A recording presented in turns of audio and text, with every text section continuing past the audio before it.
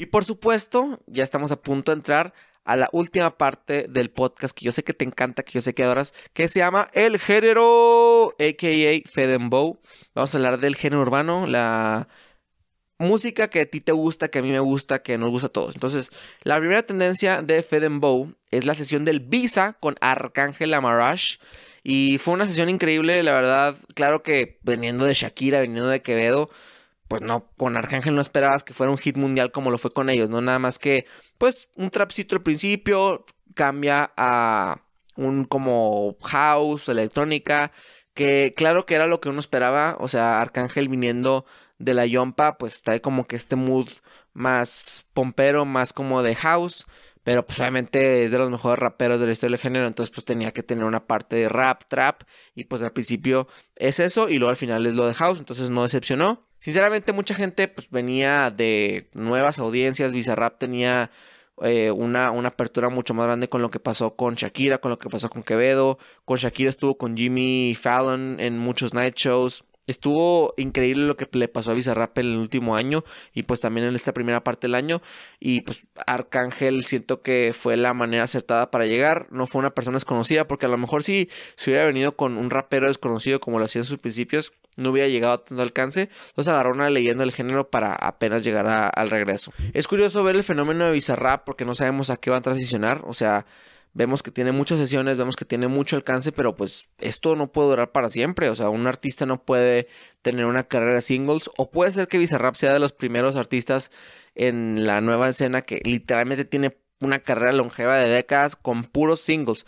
Yo creo que Bizarrap eventualmente tiene que transicionar a empezar a hacer álbumes, empezar a colaborar con gente fuera de las sesiones dentro de su catálogo, porque pues yo entiendo que sí tiene varias canciones con diferentes personas en diferentes catálogos y es parte de varios álbumes, pero va a ser interesante cómo Bizarrap va a tener que tener un balance de, oye, vamos a tener las sesiones también, pero pues también quiero tener un proyecto mío de un, un álbum, un álbum conceptual, o sea, como que, pues imagínate, solo una sesión dura un tanto tiempo y pues ya Bizarrap se olvida, ¿no? O sea, como que a lo mejor tener más coherencia en un proyecto con un álbum o algo así, pues estaría bastante bien. Ahora, para las sesiones que se vienen próximamente, ojalá se vengan las que voy a predecir. Yo digo que se viene una sesión muy pronto con Mike Towers. Me encantaría que pasara una con Young Miko, o sea, de las mejores raperas en la escena ahorita. Estaría increíble. Una con el Fercho, no hombre, un reggaetón bellaco con el Fercho, uno de medallo. Estaría increíble para para una sesión. Ya vimos que puede hacer reggaetón perfectamente el Visa. La sesión con Tiago acá, la sesión con Nicky Jam, varias otras sesiones como la de Pablo Londra tienen un dembow y son reggaetón. Entonces, pues claro que pueden ahí adaptar algo el Fercho y Visa Rap. Por último, la sesión que yo mataría por escuchar de Visa Rap sería una sesión con peso pluma.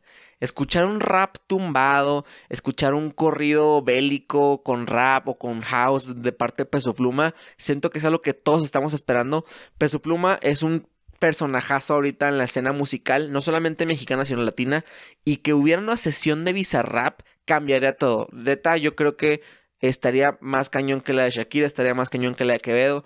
Ver una conexión México-Argentina como la que podríamos ver con Peso Pluma y Bizarrap sería increíble. Por favor, háganlo, taguen a Peso Pluma y a Bizarrap para que se junten en este video. Y es interesante hablar de Peso Pluma un poquito, porque Peso Pluma ha intentado colocarse en diferentes géneros. Tiene la Bebé Remix, que es un palo. O sea, neta, uff, amo esa canción. Es una de mis canciones favoritas de este año.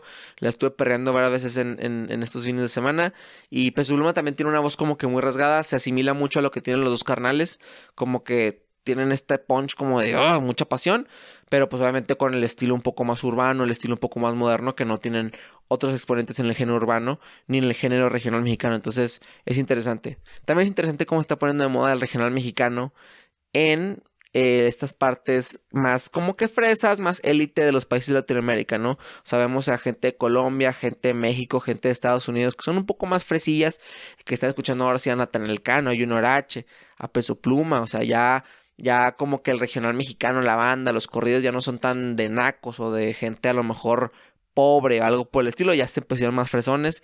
Y pues la verdad me gusta mucho porque es música que representa al mexicano, es los corridos y todo el género regional mexicano es algo que representa y no debe de tener ningún tipo de clasismo, entonces el regional mexicano ha estado aquí para quedarse, vemos a Nata, vemos a Junior H, vemos a Fuerza Régida, Grupo Firme, a Peso Pluma, a Luis R. Conríquez, que ya están hasta colaborando con gente de, del género urbano, que eso está increíble. Y aquí les quiero comentar ya para acabar una de las tantas colaboraciones que hay del género urbano con el regional mexicano. O sea, neta, hay muchas. Grupo Firme con Maluma, con cada quien. Luis R. Corríquez con Nicky Jam, que acaba de sacar una rola que está buenísima, que es un corrido. Carol G con sus dos rolas. O sea, ya sacó dos rolitas muy buenas que son como que entre tumbado, entre como que cierreño. Están bastante buenas. Eh, Bad Bunny con Nata, con Natanael Cano en El Diablo, corrió tumbado que sacó en 2018, 2019, no me acuerdo perfectamente, pero sí es algo que Bad Bunny puso mucho hincapié desde el principio y pues apoyó siempre a Nata, ¿no?